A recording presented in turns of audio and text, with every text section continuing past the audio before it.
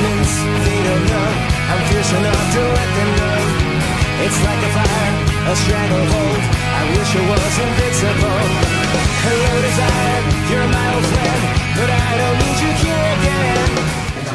potong kaki lo kalau yang ikut lomba PVB lebih dari 9 tim Gue bakal potong botak kalau yang like video ini lebih dari 100 orang Gue bakal lari, ngejak shuttle BS sambil ngumpulin sampah kalau kita dapat 1000 view. Gue gak bakal beli makanan berbungkus yang berbasis styrofoam selama satu minggu penuh kalau tidak ada orang yang membawa sampah sembarangan saat tawar berlangsung. Jika terdaftar 500 orang yang datang di main event Earth Hour dan mematikan lampu kamarnya, maka saya akan membersihkan sungai ini secara berkala.